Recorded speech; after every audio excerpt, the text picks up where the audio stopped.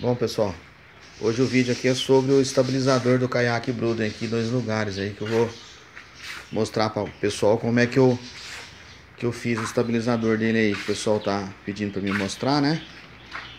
E aqui é o caiaquinho Bruden, né? Tá motorizado, eu acabei de colocar um motor nele também aqui agora. Depois eu falo sobre o suporte do motor aí. E vamos começar agora falar aí sobre o projetinho que eu fiz aí do estabilizador, né? É minha assistente aqui para me ajudar. Bom, esse cano aqui que vocês estão vendo aqui, gente, é um cano de, de inox.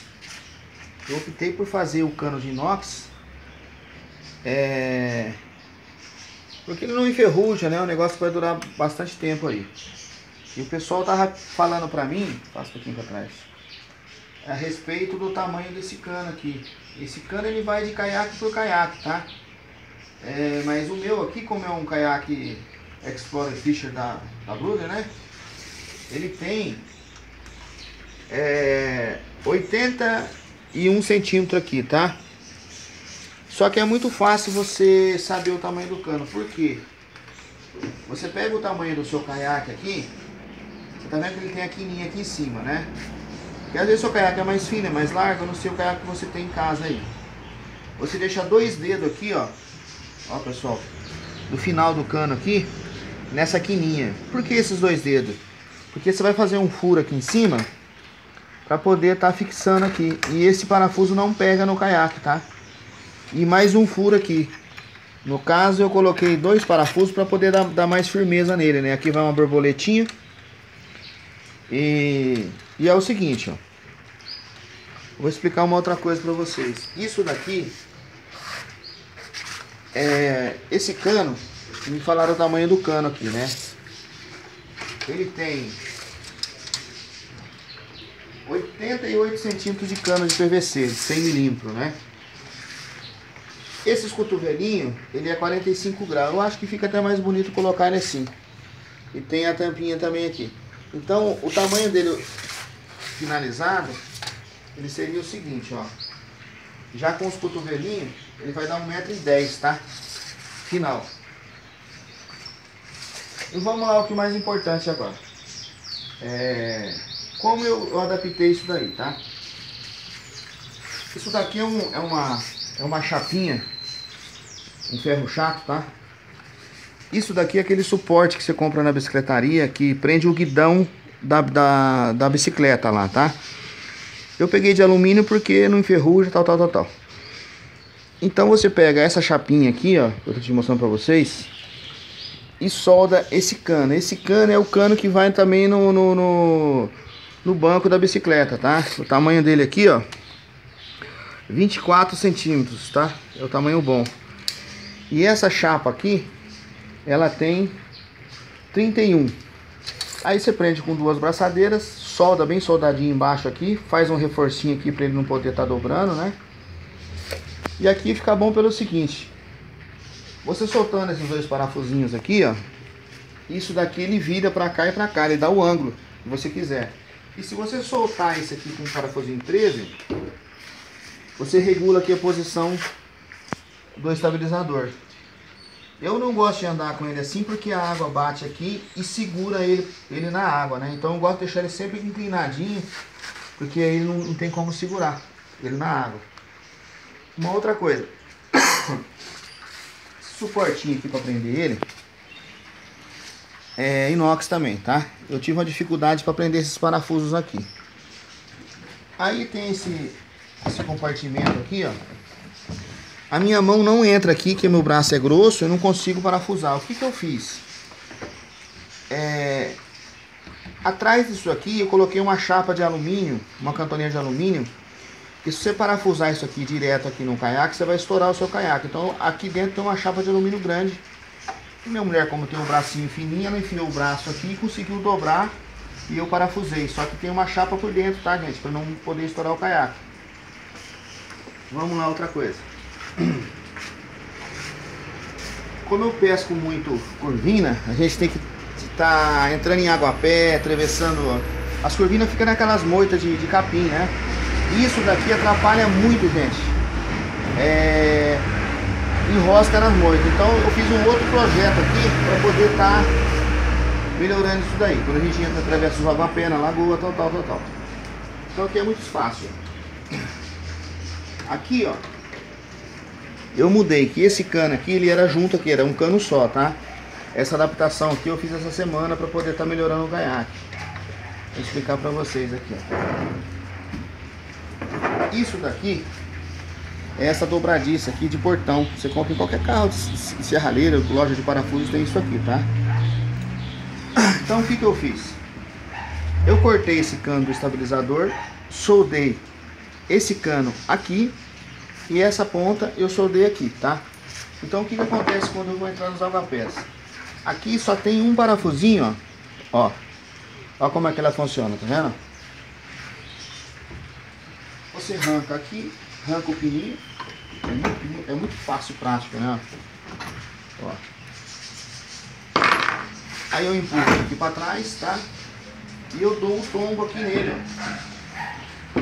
Ó, eu dou o tombo nele. Então o que, que vai acontecer, ó? Eu consigo facilmente atravessar os aguapé sem estar tá enroscando no estabilizador, porque isso aqui atrapalha, né? Aí quando eu for sair dos aguapé, é, eu consigo abaixar aqui de novo, tá? A dobradicinha aqui, ó. Aqui você solda mais um ferrinho furado aqui também, que é muito simples fazer isso aí, tá? E a praticidade dele é o seguinte. Chegou aqui, você puxa ele, travou, né? Vou travar aqui pra vocês darem uma olhada. E aqui você trava apenas um parafuso, ó. É muito rápido, né? Borboletinho para facilitar, não precisa de chave, nada. Ó. Travou, tá?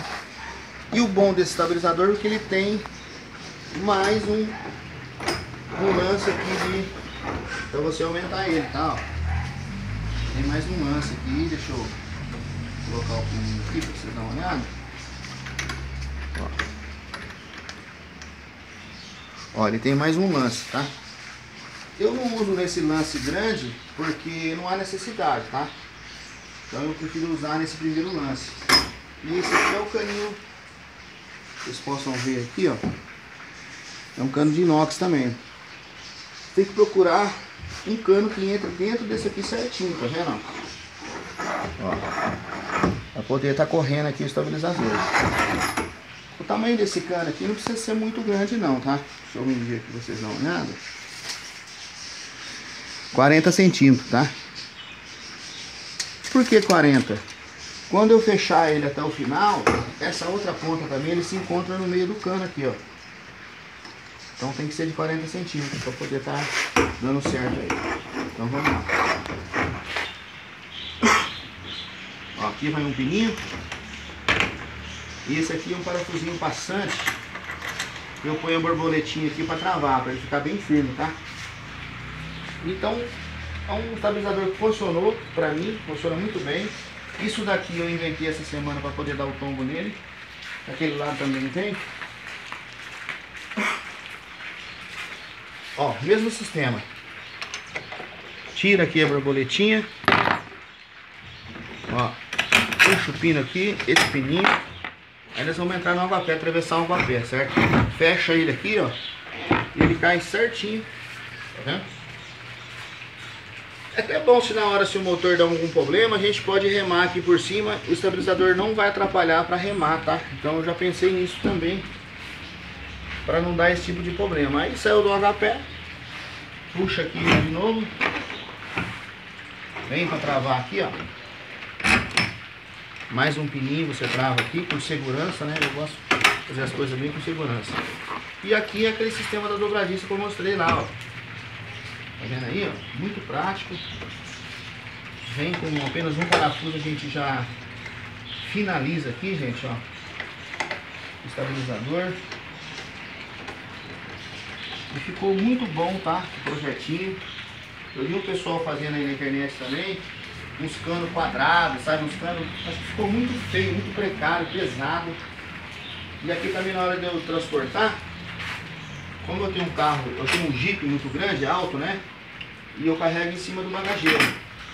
Quando eu vou transportar, eu puxo aqui, ó, arranco ele fora.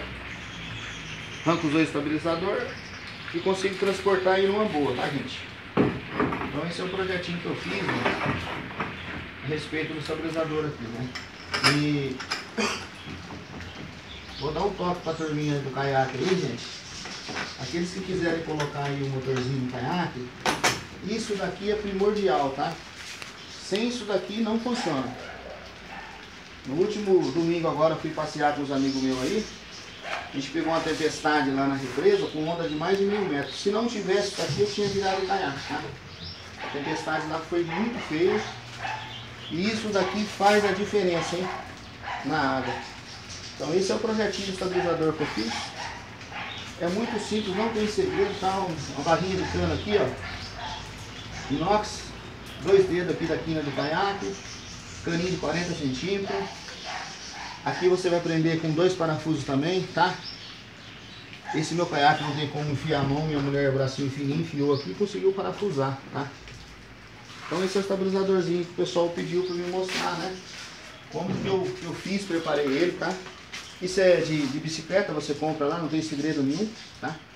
Um parafusinho ele regula tal. E tá aí o vídeo. Espero que você tenha gostado. Qualquer dúvida aí, dá um like no canal lá. Eu dou mais um toque para vocês aí de como foi feito o projetinho aí do estabilizador, gente. Um abraço para vocês aí, tá? Tchau.